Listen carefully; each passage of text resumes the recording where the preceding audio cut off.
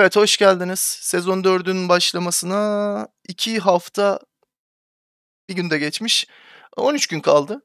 Eee, Blizzard sınıfların oranlarıyla, eee, güçleriyle oynamadan şu anki hâliyle, eee, tier list yapacağım. Tanklarla başlıyorum, sonra healer'lar, ondan sonra DPS, işte range melee diye ayırır mıyım, ayırmaz mıyım? O zamanı gelince bakacağız. Eee, böyle kısa kısa videolar hâlinde daha iyi olabilir. O yüzden melee range diye ayırırım sanırım. Peki, bunları, bu tier list'leri ayarlarken nelere dikkat edeceğim? Sınıf spec'in kendi özellikleri falan var zaten. Diğer sınıflarla olan rekabeti önemli. Gruba ne getirdiği önemli.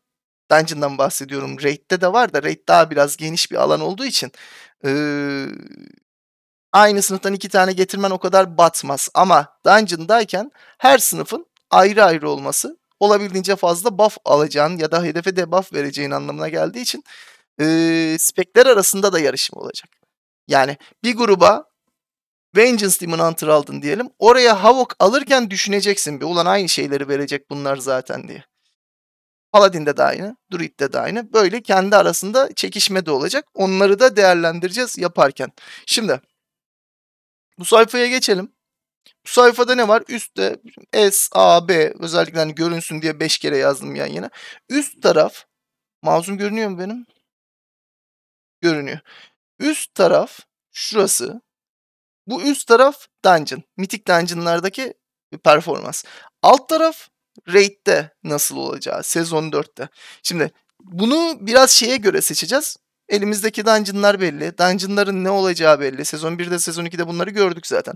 Raid'ler de belli. Şu an Amir Rasil var. Önceki sezon Aberus vardı. ilk sezon Volt vardı. Hepsinde ne olacağı belli. Ee, yani sürpriz bir şeye sezona girmiyoruz. Bütün performanslar, onlar, şunlar, bunlar belli. Bunlara baka baka yorum yapacağız. Şimdi Mythic'le, Mythic Dungeon'larla başlayalım. Bunları böyle rastgele koydum ben. Ee, şey olarak işte Death Knight, Demon Hunter, harf sırası. Sınıfları yaparken de böyle yapıyorum zaten ben. Şimdi Dungeon deyince aklımıza ne gelmesi lazım? Şimdi tank DPS'i önemli. Üstüne e, CC çok önemli. Stun çok önemli. Hard CC önemli. E, mobility önemli. Ne kadar mitigation yapabiliyor, ne kadar yediği damage'i azaltabiliyor o önemli. Ama raid kadar değil bu son dediğim. Tamam mı? Yandakilere falan ne kadar heal verdiği, ne kadar destek verdiği utility'ler çok önemli. Şimdi utility deyince burada ne var? Death Knight utility'si çok fazla yok. Druid'de biraz var. Monk'ta utility var ama Monk'un başka sıkıntıları var. Bunu anlatacağım sezonla alakalı. Ee, Paladin'de utility çok fazla, Warrior'da çok fazla yok. Demon Hunter utility'den ölüyor.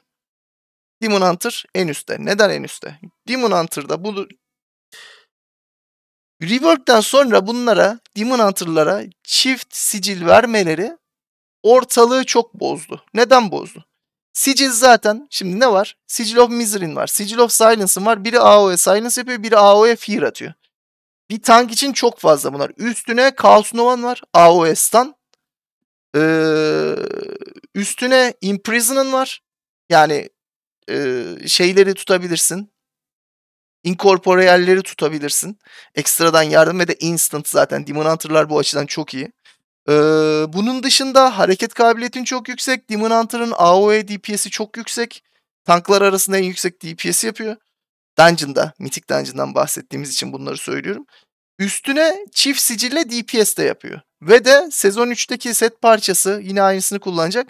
Sicil üstünden buff veriyor. Yani her şeyi sicil. Siciller ee, Demon Hunter'ı tamamen taşıyor. Mitik artılarda. Şimdi onun dışında Vengeance Demon Hunter'da ne var? Ee, hedefe vurduğunda %5 ekstra magic damage e, almasını sağlıyor. Ve de şimdiden söyleyeyim sezon 4'te çok yüksek damage vuracak DPS'ler caster. Magic damage vuruyorlar. O yüzden şimdi Monk'la Demon Hunter arasında 5 kişilik bir grup kuracaksın. Karşılaştırma yapalım. %5 magic damage veriyor. %5 physical damage veriyor. Physical, physical damage vuranlar kimler? Marksmanship Hunter. İşte onun magic tarafı da vardı. Beast Mastery. İşte Survival. Rogue'lar. Rogue'ların hepsi de değil. Bazıları. Outlaw. Outlaw yüksek damage vuruyor. Outlaw için geçerli ama diğerlerinin hepsi geride. Arms biraz yüksek. Fury ortalarda. Bunlar hep physical damage vuranlar ve de bir şey yapamıyorlar. Ama Vengeful, e, Vengeance, ben buna niye Vengeful deyip duruyorum? Vengeance Demon Hunter'ın %5 Magic Damage arttırmasının destekçisi. Fire Mage, Frost Mage, e, işte Destruction Warlock, Demonology Warlock, Balance Druid, Shadow Priest de iyi. E, yani her taraf şey, her taraf Magic Damage üstünden gidiyor. Üstüne Paladin'in AoE damage'ı zaten çok yüksek vuruyor. Paladin'in damage'ı da şey Magic Damage. Holy ya da Radiant vuruyor. Yani physical değil. Magic olduğu için hani sadece büyücü kafasında düşünmeyin. Paladin de vurduğu damage'ı armor'ı geçiyor. Vengeance Demon Hunter'ın %5'inden etkilenecek. Tamam mı? Yani avantaj her şekilde avantaj. Demon Hunter'ların debuff'ı Monk'ların debuff'ından daha fazla işe yarayacak. Yani tabii ikisini de alsan iyi. Nasıl iyi? Vengeful, Vengeance Demon Hunter'ın yanına bir tane şey çakarsın. Mist Weaver çakarsın. %5'te physical alırsın. Da neye yarayacak o bilmiyorum. Yanına kimi alacaksın. Böyle bir durumda iki tane caster alırsın. Bir de augmentation alırsın. Bitti zaten. Demon Hunter'da bu kadar fazla CC varken ekstra interrupt'a da gerek yok. Hani araya belirli bir düzende şeyler de atar. Range'ler de atar. Biraz daha cooldown'larının uzun olması dışında bir sorun kalmaz. O yüzden Vengeance Demon Hunter çok önde. Vengeance Demon Hunter'la şöyle bir sıkıntı var sadece. Death Knight'ta da var bu sıkıntının aynısı. Fight'a girdiğinde kısa bir boşluk var. Bu e, hedefin üstünde, kendi üstünde Pain e, Bringer buff'ları, hedefin üstünde Frailty buff'lı debuff'larını ayarlayana kadar tek yeme ihtimalin var yüksek keylerde. Onu talent düzenini biraz değiştirerek ya da e, hani öldüğünde seni metaya sokma talenti ona inmek çok zor şu anda. Onu alarak geçirebilirsin. E zaten belirli bir ustalaştıktan sonra da zaten yemezsin bunu. Bazı durumlarda hani neyi nasıl çekeceğini falan öğrendikten sonra o kısma bakmak lazım. Onun dışında dediğim gibi sicil var. Ee, şey Misery var. Sigil of Misery. Sigil of Silence var. AOS'tan var. Her şey var bunda. Ee, yani kimsenin Demon Hunter'ın eline su dökebileceğini sanmıyorum şeylerde e, mitik artılarda. Şimdi bunun yanına seti de dediğim gibi sicil üstünden. Şimdi bunun yanına kim gelecek? Bunun yanına Paladin gelecek. Paladin nasıl gelecek? Paladin e, grubunu çok fazla destekliyor. Grubunu nasıl destekliyor? Blessing of Protection, Blessing of e, Freedom, Blessing of Sacrifice. Yani mesela e, Manor düşünün. Waycrest Manor'da birisini şey yaptı. İkinci boss'tasınız. Ağaç boss'undasınız. Üçüncü boss oluyor şeyde de. Dungeon Journal'da da. Gidiş açısı olarak ikinci boss. İkinci boss'tasınız. Ee, birisini şey aldı. O ağaçtan torn dikenli buff var, debuff var ya onu aldı. Blessing of Protection at, kurtar. Ondan sonra iki tekrar attı. E bu sefer de git onun üstüne şey at. E, sacrifice at. Yani healer'ın işini basitleştir. Adam ölmesin birden.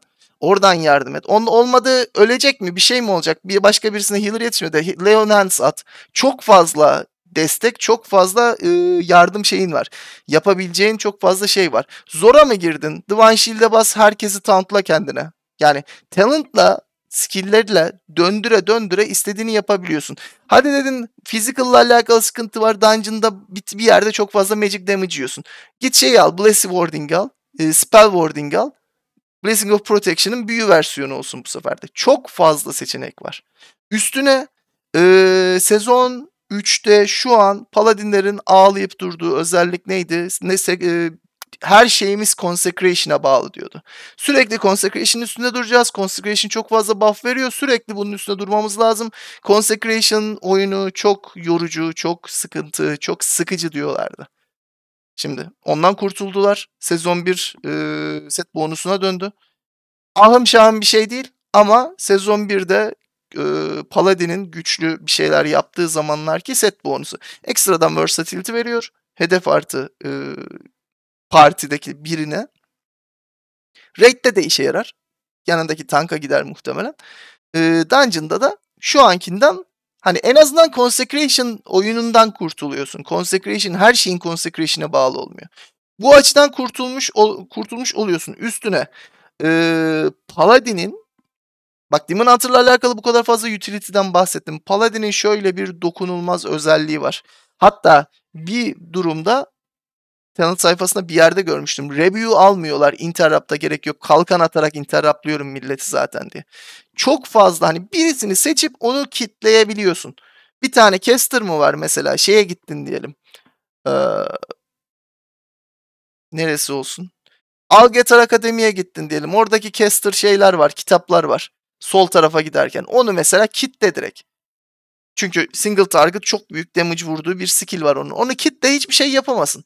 Zora mı düştün? Başka bir tane daha mı var? Divine Tolabas herkesi kitle. Yani e, büyü adına çok güzel bir counter'ı var. E, o yüzden Paladin çok iyi. Üstüne dediğim gibi grup heal'i de çok güzel. Hani Ken 3 tane Shield of Righteous attın. E, World of Glory buff'ı geldi. E bunu birisine yani kendini atmayacaksan birisine atıp hayatını kurtarabilirsin. Çok fazla yardım edebileceğin şey var. Üstüne e, Blinding Light da var. Single target şey e, Repentance'ı almak çok mantıklı değil orada. Blinding Light alırsın. Üstüne bir de stun'ın var zaten. Yeterli CC. Interrupt'ları zaten tamamen sen yapacaksın. Özellikle eğer yanında interrupt yapamayan bir priest varsa healer olarak. Ee, gayet iyi, gayet güzel bir e, combo yaratabiliyorsun partin için. Paladin çok çok iyi dungeonlar için. Şimdi bunların yanına neyi koyacağız? Druid'i koyacağız. Druid niye iyi? Ee, set bonusu sezon 2'deki set bonusuna döndü. Sezon 2'deki set bonusu. Sezon 2 niye önemli? Sezon 2'de Dragonflight'te hiçbir zaman bu şu an diyeceğim olmadı. Sezon 2 dışında. Sezon 2'de ne vardı? Tankta sadece Druid.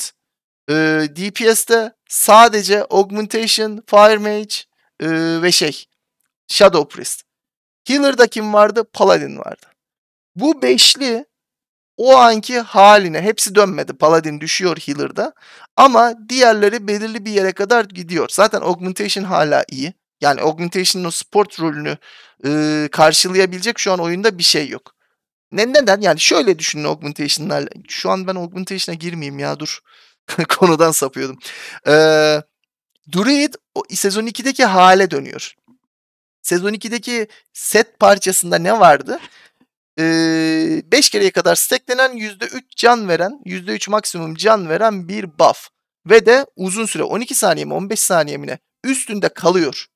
Yani bir fight'a başladın mı chain pull gidersen eğer dungeon'ın başından sonuna kadar üstünden düşmez o. Tabi şey olarak düşün mesela e, Knockout Offensive'e girersen arada uçarken düşer o ayrı.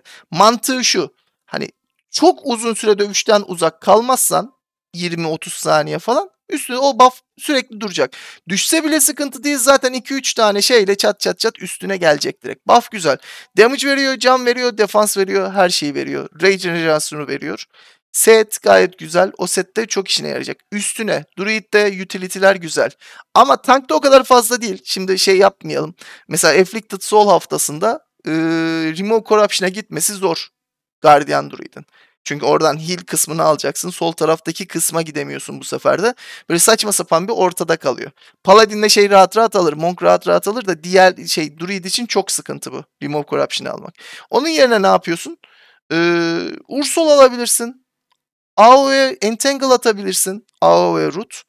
Ee, ondan sonra single target stun'ı var, ittirmesi var, kaktırması var, bir şeyleri var. Sürekli bunlardan birini alabilirsin. Üstüne grubu hızlandırıyorsun. En önemlisi şu.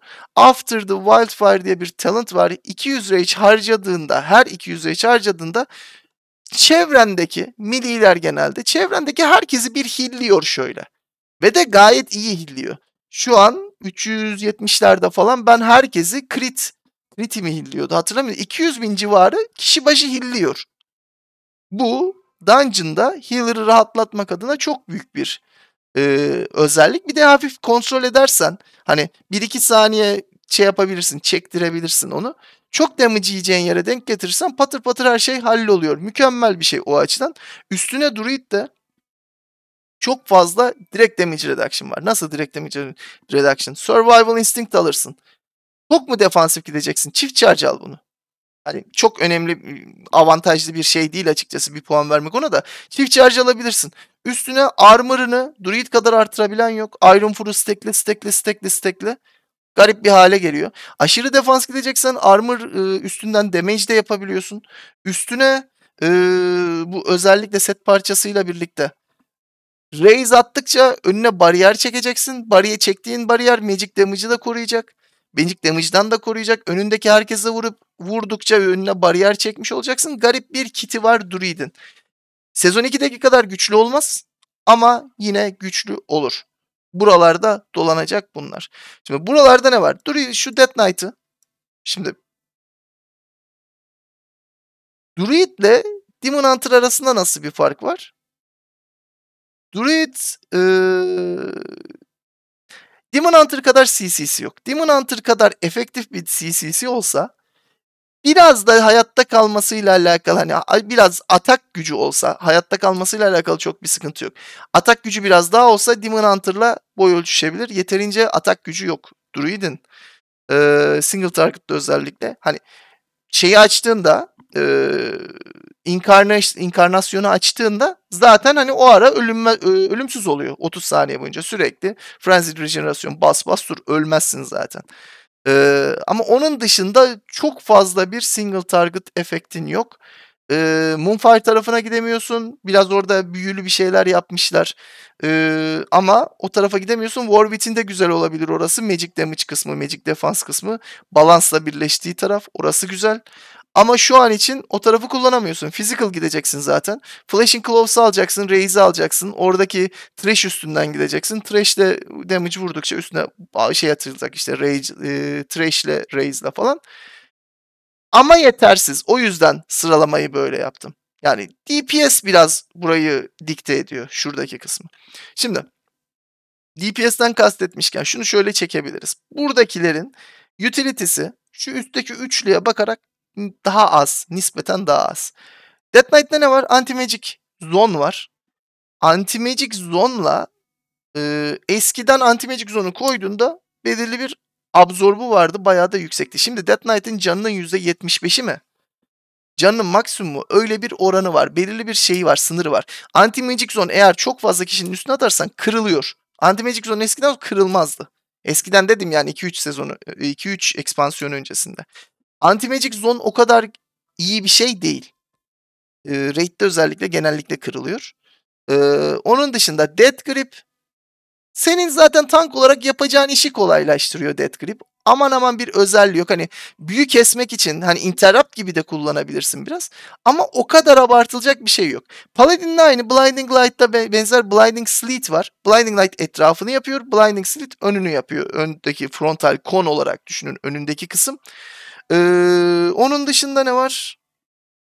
İşte kontrol Undead'de karşı tarafın petini alabilirsin. Bu Ataldazar'da mesela çok işliyordu. O tür şeyler güzel ama e, çok da hani üstteki üçlüyü yakalayamıyor. Death Knight'ı diğerlerinden nasıl biraz öne koyacağım? Çünkü Legendary kullanabilecek. Legendary kullanıyor, tekrar kullanabilecek. Ee, Legendary ile birlikte DPS'i biraz artar. Üstüne item level'da arttığı için ee, yani her şey eşit olsa şu arkadaşla bu arkadaşın Legendary'den dolayı bu bir üste çıkacak zaten. Her şeyi eşit tutsam bile. Candır, STR'dir bir şeyler öne çıkacak. Ekstradan DPS de vermiş oluyor. O yüzden Death Knight'ı biraz üste koyuyorum. Bir de Death Knight'la e, Dungeon'da hani grubun gitti bir şey oldu tek başına kaldım. Bazı mekanikleri geçebiliyorsun. Bakın Paladin'de de o özellik var. Zorda kaldığında bazı mekanikleri çat diye geçebiliyorsun. Yani yanlış bir şey mi yaptın? Divine Shield'e basıp hop geç.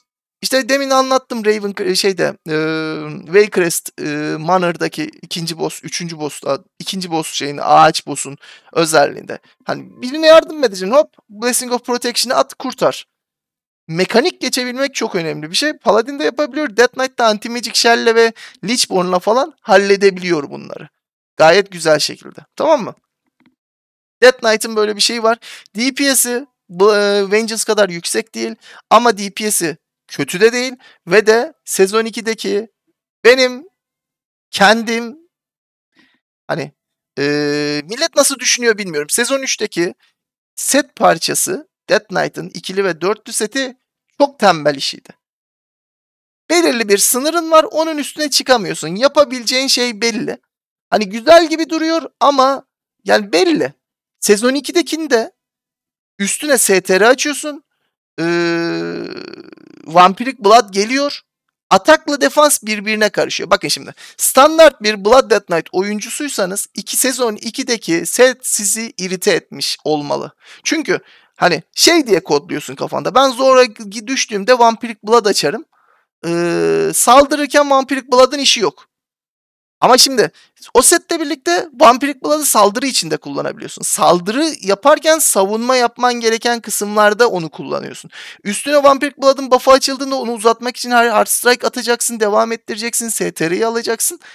Sistem içli dışlı oluyor ve de bence aşırı güzel bir set. Ee, Vampiric Blood'ın ara sıra üstümüze açılıp durması. Bunun üstüne bir de sağ alttan Imbulicus Eternus diye bir talent var. Ee, Legion zamanında Legendary'di. Bu çok hoşuma giderdi. Yine aynısı var.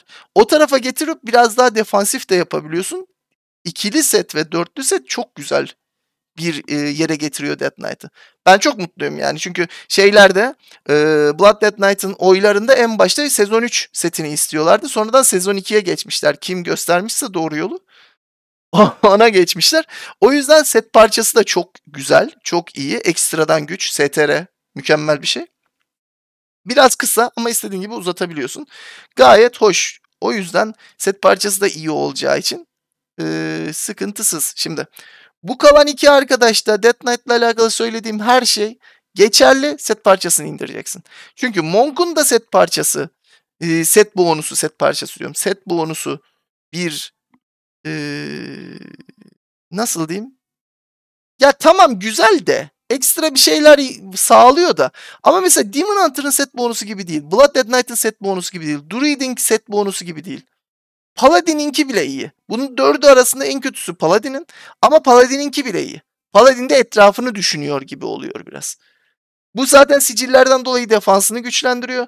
De, bunu zaten deminden beri anlattım ne kadar güzel olduğunu. Druid'inki de güçlü.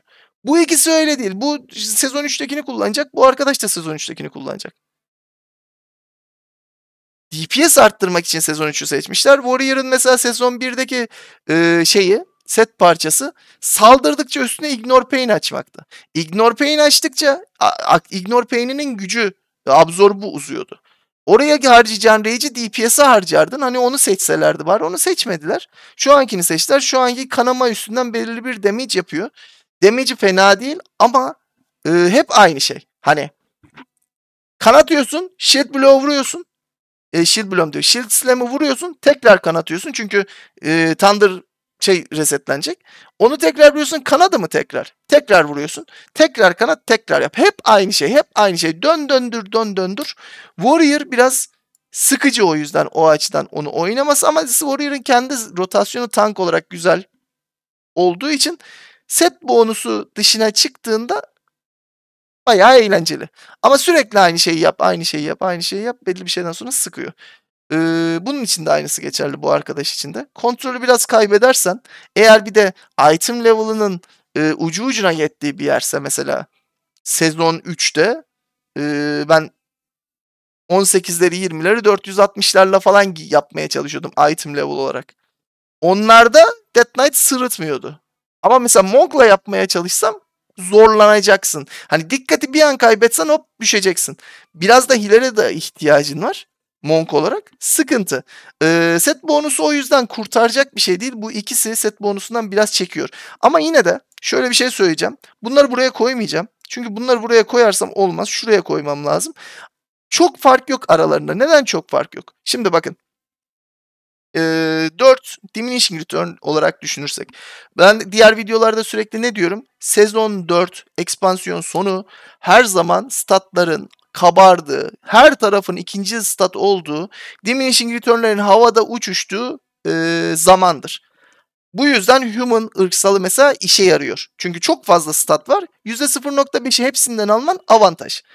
Ee, şimdi tanklar için ne? Tanklardan ne bekleniyor? Hayatta kalması bekleniyor. Heal varsa heal atması bekleniyor. Az damage yemesi bekleniyor. Ee,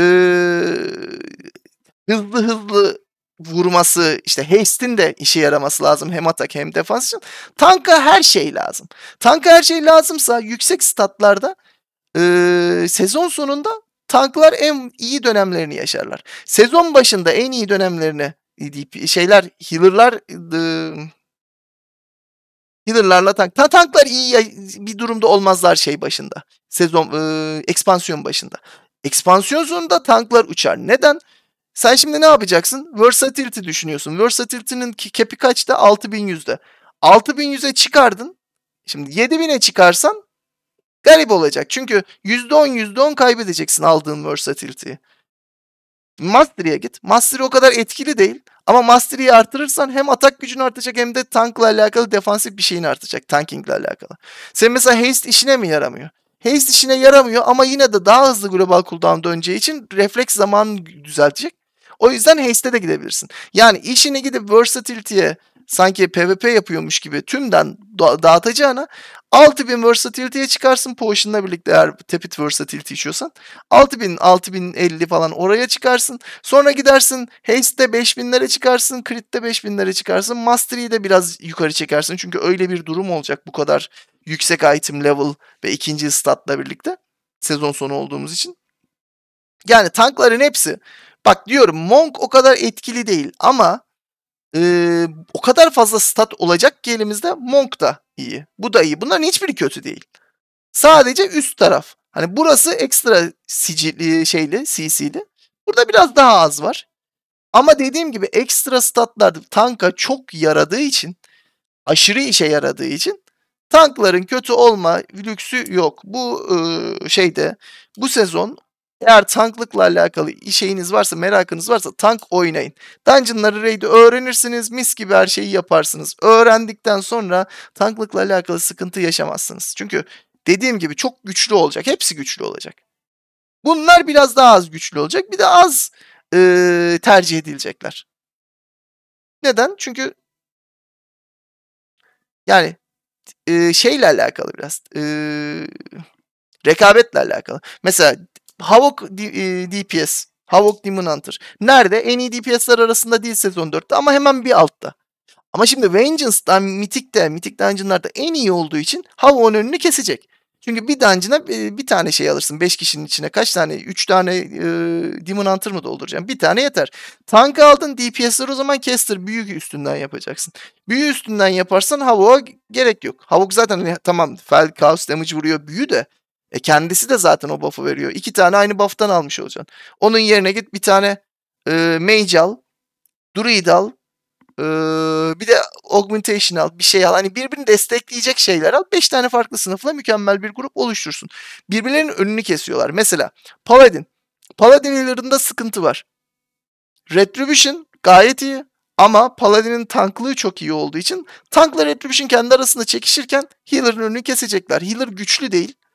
Zaten ortalıkta çok fazla Holy Paladin'i en azından en başta görmezsiniz. Eğer güçlendirmezlerse. Ee, yani Retribution'la şey kendi arasında yarışır ama e, şeyin Protection Paladin'in masaya getirdikleri, partiye getirdiği özellikler karşılık olarak çok fazla yapacak bir şey yok. Bak Druid'inkini şey yapabilirsin. Druid'inkini karşılayabilirsin. Demon Hunter'la Paladin'in getirdiği özellikleri yapabilen başka sınıf yok. Hani Retribution Paladin alırsın hadi bunun yerine aynılarını yapsın diye. Belki. Ama interrupt kısmında herkesi kitleme kısmında Demon Hunter'la belki şey yapar. Hani kendi arasında bunlar çekişirse çekişir. Ama birbirinin muadili değil bunlar. Hani birbirinin yerine geçemezler. Bu ayrı, bu ayrı. Bu mekanik geçiyor. Bu damage'i yüksek. Bunun damage'i de yüksek ama bu kadar değil. İşte magic damage e, ekstradan %5 magic damage şeyi getiriyor partiye. E, burada immunity mekanikler falan bir şey var. Hani kendi aralarında farkları var. Druid bunlardan biraz ayrı. Druid'in yaptıklarını Death Knight'ta hemen hemen yapar. E, böyle bir şey var. Kendi aralarındaki yarışma. Onu geçtim. Monk'un yarışacağı grup çok kötü. Mistweaver Monk var. Mistweaver Monk çok fazla heal veriyor. Üstüne DPS'i iyi. Üstüne interrupt'ı olan yakından dövüşecek bir grup. Ve de 2 melee artı bir tane augmentation artı tank artı Mistweaver yaparsan melee grubu oluşturmuş oluyorsun. Melee grubu oluşturursan Mistweaver'ı çevresini bufflamış olacak. Healing Taken'dan, AoE damage'dan falan filan. Grup çok iyi oluyor Mistweaver'la. O yüzden Monk Tank yine geride kalır. Yani güçlü olsa bile Mistweaver'ı geçemeyecek. Mistweaver alınacak hep tercih edilecek gruplarda. O yüzden sıkıntı. Warrior'da ne var? Warrior'ın Fury'si de aman aman değil. Arms biraz daha iyi diyorlar. Ben sadece duyum aldım bilmiyorum. Ee, protection hani o Battle Shout e, Battle Shout'u Protection'dan alacaksın gibi duruyor. Ama şimdi bu kadar tank varken kim tankta Protection'ı te- tercih eder bilmiyorum. Warrior olarak ne oynayacağınıza dikkat etmeniz lazım. Arms en iyisi gibi duruyor şu an için. DPS olup Arms'a dönmek 3 spray birden oynarsanız diye düşünüyorum. Şimdi Eee, bunları tek tek anlatmama çok bir şey kalma gerek kalmadı. Çünkü zaten diğer tankları anlatırken karşılaştıra karşılaştıra devam ettim. Ama ben böyle bir şey olacağını düşünüyorum. Bu ikisinin kendi eee, arasında değişebilir. Ama ya Death Knight'i yakalayamazlar bu ikisi. Monk ve Warrior Death Knight'i yakalayamaz. Death Knight şuralarda Şimdi kazaradan düşen Trinket'ı alıp DPS'e çevirirse biraz şuralara da gelebilir. Hangi şeyi yapacaksın? Şu e, bulyonları nasıl alacağımızı biliyoruz ama kaç tane alacağımızı bilmiyoruz. Eğer bulyonlar 6 haftada bir 2-2-2-2 gelecekse sezon ilerledikçe Death Knight coşar. Çünkü e, biz Trinket'lardan birini alırsın. İlk alacağın iki taneyi zaten Legendary'in için kullanacaksın. Legendary'yi 400 Legendary kaç olur? 535 olur. Legendary'i 535'e çıkardın mı? Çıkardın. Daha sonra 6 hafta geçti. 6 hafta geçtikten sonra 2 bulyon daha verirlerse sana o 2 bulyonla da gidersin bir tane trinket çakarsın. Silahın Legendary. Trinket'ı aldın. E, ne kaldı geriye? Bir tane de yüzük alırsın. O şey alev e, Volt'tan düşen alev yüzüğü var. Onu alırsın. Shadow Flame'i bastın mı şeylerden, embellishment'lardan bir tanesine üstüne ekstra DPS. Sürekli bir fire demiş. Hani komboyu güzel kurabiliyor Death Knight. Bullion sayısı Death Knight için çok önemli. Çünkü Legendary ne olacağı önemli. Legendary'yi arttırdın başka bir şey alabilecek misin alamayacak mısın? Kaç tane bullion verecekler onu bilmiyoruz. Ama 6 haftada bir 2-2 vereceklerse bu demek ki sezon sonunda herkes Mythic Raid'i işte 15'leri falan kesmeye başlar. 15'lerden daha fazla olur aslında. 10, 20, 18, 19'a çıkarlar. Peki burası ee, şey Mythic Dungeon. Şimdi bunu şuraya çekiyorum yine. Buradan raid'i yapacağız. Raid'i nasıl yapacağız ona da bakalım. Raid'de ne var? Raid'de adam sayısı fazla. CC'lerin o kadar önemi yok. O yüzden Demon Hunter bakın nasıl düşecek. Mekanik geçmek Death e, şeyde raidlerde çok önemli. Mekanikleri bir şekilde geçebilmek. Ne demek bu? Bak bir Paladin geldi hemen. Üstüne mekaniği geçebilecek anti-magic shell'dir, fear şeydir, ölümden geri dönmektir, purgatory. Death Knight'ta bu tip şeyler de çok önemli. Bir de bunların arasında ne var? Monk'un mekaniği var. Monk'un mekaniği yıllardır stagger mekaniği. Ee, bazı mesela şeyde Legion zamanında progress için Odin'e karşı kullanılıyordu. Atılan mızrağı staggerlayıp geçmeye çalışıyorlardı. Çünkü çok yüksek damage vuruyordu. Paladin'le e, Monk yapıyordu şeyde. Halls of Valor. Halls of Valor değil. Trial of Valor'da. Legion zamanı. Tamam mı? Şimdi şeye geçelim. Ee, Raid'e gelelim. Raid'de kendi spekler arasında savaş diye bir şey düşünmeyeceğiz. Çünkü adam sayısı zaten hani 20'lik bir raid olarak düşünürsek, mitik raid'e uygun e, bir grup olarak düşünürsek. Şimdi ne yapacağız? Bir kere raid için şu ikisini alalım. Bu ikisi raid için bizim e, şeyde de bunu düşünüyorum. Blood Death Knight benim zaten. Yanıma bir tane paladin bulabilirsem e, raid grubu için böyle bir ikili düşünüyorum. E, paladin hata yapıldığında ya da bir şey olduğunda sağ solu kurtarmak için e, çok güzel olur. Death Knight'da zaten e, yani 2 saniyede bir yüksek damage yemesi Death Knight'ın ölmeyeceği anlamına geliyor. Death Knight'ı öldürmen için böyle kafasına çat çat çat çat çat, çat hızlı hızlı vuruyor olman lazım ki o blood e, şeyler hmm, bone shield'lar hani tamam bir anda 3 kere vursan bir tane kırılıyor da ama sürekli gidince sürekli sürekli kırılıyor o döngüyü sağlayamıyorsun. Kafana sürekli hızlı hızlı damage gelirse. Yavaş yavaş gelirse rahat rahat tanklarsın. Death Knight bu açıdan mükemmel. Hatta Fira şu an tek başına yapıyorlar zaten HC'de.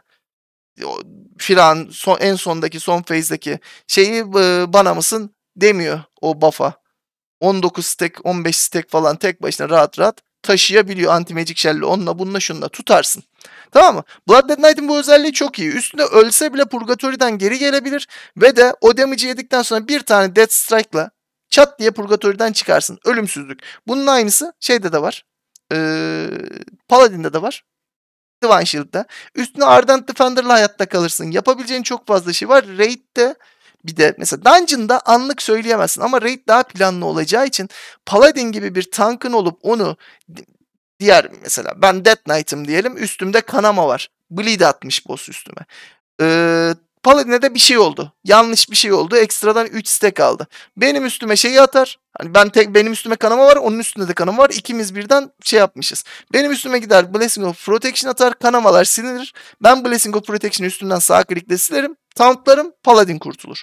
Mekanik geçmek çok basit bu ikilide. Şimdi bu ikili en iyisi. Onların yanına Raid için şunu çok severim ben. Dediğim gibi stagger efekti çok çok çok işe yarıyor. Çok güzel bir şey ama şu anki halinde değil. Şu anki halinde Expel Harm'la birlikte çok fazla hile almaya başlamış. O yüzden stagger'ı düşürmüşler biraz. Ee, Dragonflight'ın başından beri böyle bu. O yüzden Monk'un hili biraz şey. O, biz yine şuraya bunları çekeceğiz bu ikisini. Bu iki arkadaş. Yani Druid'i şöyle yapabilir. Yani şu ikisi kendi arasında dönebilir. Çünkü siciller üstünden parayı alacak. Demon Hunter'ın iyiliği ne? Demin Death Knight'a söylediğim bir anda çok fazla at, oto atak gelmesi var ya tak tak tak tak kafaya hızlı hızlı vurması. De Blood Death Knight buna ne kadar dayanamıyorsa e, şeyde Vengeance Demon Hunter'a o kadar fazla dayanabiliyor. Yani aynı anda 10 tane yaratık tak tak tak tak hızlı hızlı vurmaya başlasınlar Vengeance'a doğru düzgün bir şey olmaz. Çünkü parry yaparsın, Demon Spike'ı açarsın, olmadı Demon Form'a girersin. Demon Spike yokken Demon Form'a girersin. Ee, armor'ın iki katına çıktığı için ya bana mısın demeyecek. Zaten üstünde Painbringer vardır. İşte Painbringer yoksa hedefin üstüne Frailty atmışsındır. Yani çok rahat dayanıyor. Ama raid'de ekstra bu kadar fazla yaratığın olduğu ortam çok fazla olmuyor. Yani en fazla ne olur? Yaratığın tekiyle dövüşürsün, boss'la dövüşüyorsundur. Arada et çıkar, edleri toplarsın, öldürürsün, biter. Geri boss'a geçersin. Bunun için Demon Hunter geriye düşüyor. Çünkü single target tanklamak ayrı bir şey. Single target ta- tanklamaya geçersek şunu biraz öne çekebiliriz. Neden? Boss sana şöyle dönecek. Özellikle Uldir'de çok fazla olurdu bu. Ee, Festring Festival mıydı neydi? Böyle köpek gibi bir boss vardı. Sana ve yanındakine vururdu ve de çok yüksek physical damage vurdu. Orada mesela yanımda Druid olsaydı benim Death Knight'la birlikte 3 tane 4 tane Iron, Iron Fur'a bassa zaten ayının canını alamayacak. Çok yüksek physical istediği kadar vursun. O kadar armor'ı yükseltiyorsun ki ayıya bir şey olmuyor. Üstüne bir şekilde tutarsın kendini. Master'ini yüksek gidersen Druid'e verdiğin can da yükseliyor. Healer'ın HPS'si de artar. Healer olarak eğer e, ben niye burada daha fazla heal verdim diyorsanız healer tankınıza bakın. Tankınız druid ise druidlerin mastery'den dolayı daha fazla heal alması var. Healing taken'ı artıyor. Healing taken'ı artmışken sen ona heal verirsen normalde 500 bin heal atacaksan 550 bine çıkıyor mesela.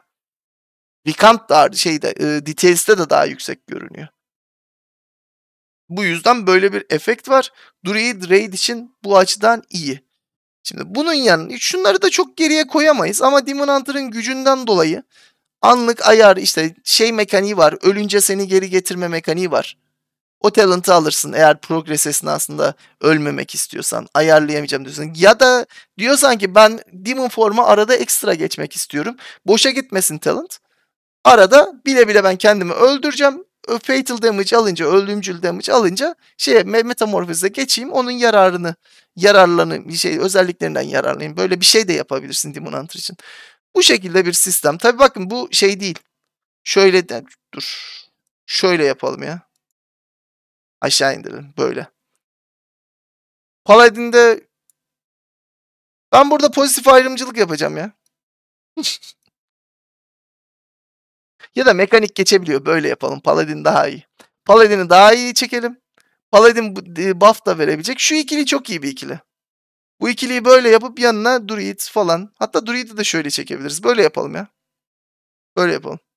Druid'i yukarı çekebiliriz. Druid'in çünkü şey olarak düşünürsek After the Wildfire'ı raid'de alırsan raid'deki millilerin şöyle kaç? 4 kişiye mi veriyor? raid'deki millileri şey yapar, yükseltir. Birden hepsinin 200 bin, 300 bin canı olduğunu düşünsene. 200 rage aman aman bir rage de değil. Zaten yapacağın ne raise atacaksın, raise atacaksın, trash atacaksın, tekrar raise atacaksın. Single target gidiyorsan maul atacaksın raise'lerine. Zaten fazla rage harcıyor. Ee, kullandığın her rage'den etrafa heal atacaksın. Grup için çok iyi. Üstüne olmadığı Heart of the Wild'a geç. Ee, debuff aldığında aktif değil pasif tankken DPS de yapabilirsin ekstradan. Ama yani uzakta kalması lazım. Çok efektif bir şey olmadı. Bu dediğimi geri alacağım sanırım. Ayı formunda etrafa hil atmak daha mantıklı olabilir. Neyse. Ayı raid'de bir form raid'de çok işe yarar. Üstüne Wild, Mark of the Wild getiriyor. Bunları çok düşünmemize gerek yok aslında. Çünkü raid'de illaki bir tane druid olur. Ki Restoration druid, ayı druid'in getirdiği her şeyi getiriyor zaten. Ee, o yüzden dungeonlar için druid'i biraz geriye çekecek şey bu. Restoration e, druid çok iyi. Sezon 4'te. Heal açısından çok iyi. Ee, tankının yolunu biraz kapatabilir. Ama Druid'i oynamak da çok basit. Çok aşırı tek düze bir tank. Etrafa yardım etme kısmını başarabilirseniz ee, güçlü olacak Druid. Haberiniz olsun. Peki. Ee, bu tier set bu şekilde. Böyle olacak. Ya ben benim düşüncem tabii ki bunlar. İlla ki şey olabilir. Blizzard der ki ya biz Monka çok şey yaptık. Çok sıkıntı e, çektirdik. Az bir şey güçlendirelim. Bunun işte %10 staminasını arttıralım falan filan bir şey derse Monk'un yeri değişir. Warrior'a da öyle bir şey yaparlar. Ki şeyde yapmışlardı. BFA'da Paladin'e yapmışlardı mesela. Arda arda önce bir STR'yi arttırdılar. Stamina'yı arttırdılar. Baktılar olmadı. Paladin canı dayanmıyor. Bir kere daha arttırdılar. Artırdılar. Artırdılar. Dragonflight'ta da Death Knight'a yaptılar. Önce bir %10 atak gücü, %10 at %8, %8, %8, %5. En son bir %10 verdiler. En baştan itibaren %40 falan atağı arttı Death Knight'in ki daha bu hale gelebildi daha. En yüksek de değil hata. O yüzden Blizzard bunları ne yapar bilmiyorum ama şu anki elimizdeki veriler, elimizdeki şeyler işte e, PTR'da insanların ne kadar damage yaptığı, nasıl olduğu falan üstünden bakarsak burada Raid yapacaksanız Paladin, Death Knight, e, Dungeon yapacaksanız, tank olarak Dungeon yapacaksanız Demon Hunter, e, Druid, Paladin, işte Death Knight. Hani şu ikisi o kadar iyi değil ama siz tanklıkla alakalı sıkıntı çekmiyorsanız hangi tank olursanız olun, olun sıkıntı çekmezsiniz. Çok yüksek keylerde bu sıkıntı baş göstermeye başlar. Yani mesela en yüksek 20 kaç olacak? Yenisinin 10'u olacak değil mi? Eğer böyle 18 19'ları zorlayacak birisiyseniz o kadar hani meta ayarında bir karakter istiyorsanız Demon Hunter gayet karşılar özelliklerinizi. Ya da Paladin. Paladin ama Demon Hunter, Demon Hunter Paladin'i Paladin Demon Hunter'ı yakalayamaz ya Dungeon'da. Demon Hunter'ın özellikleri çok fazla. Dungeon için özellikle. Ama Raid'i de işin içine katacaksınız. Paladin safe pick. Kesinlikle yani güvenli olarak bunu alabilirsiniz. Ben Death Knight oynayacağım zaten. Ben bunların hepsini oynuyorum ama özellikle Death Knight oynayacağım. Death Knight hem main'im üstüne e, Raid'de de çok işe yarıyor. Çok sevdiğim bir şey Death Knight'la Raid'de tanklık yapmak ama gayet de basit. Öyle bir şey de var. Oy. Peki bunlar bu şekilde ee, şey yapacağız. Ne onun adı? Bir dahakine healer'ları yapacağız. Ee, bunlarla alakalı yorumlarınız, işte sorularınız, bir şeyiniz varsa DC'den bana yazabilirsiniz. Anlatmayı unuttuğum bir şey varsa ya da ne bileyim işte şunu söyledin yapmadım falan filan. Hatırlamıyorum çünkü doğaçlama yapıyorum videoları.